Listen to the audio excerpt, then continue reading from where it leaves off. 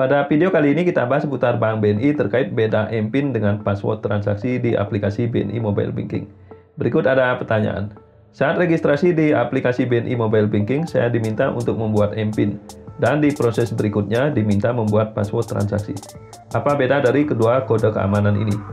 Nah, ini pertanyaan umum yang sering ditanyakan bagi nasabah yang baru pertama kali menggunakan aplikasi BNI Mobile Banking.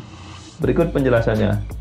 MPIN atau mobile PIN adalah 6 digit angka akan digunakan nasabah setiap kali login di aplikasi BNI Mobile Banking bersama dengan user ID.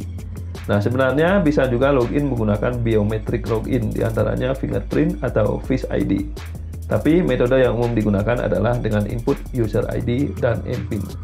Kemudian, yang kedua, untuk password transaksi, itu adalah terdiri dari 8-12 karakter diperlukan selanjutnya sebagai autentikasi di setiap transaksi finansial.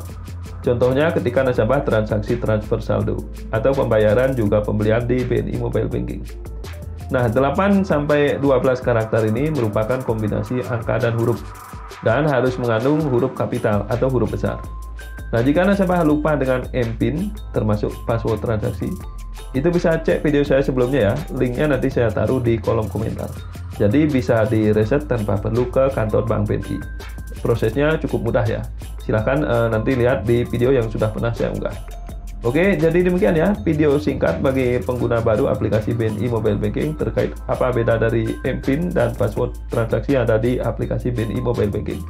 Jika ada pertanyaan terkait video ini maupun terkait uh, mobile banking Bank BNI bisa tulis di kolom komentar. Semoga bermanfaat. Sampai jumpa di video berikutnya. Terima kasih.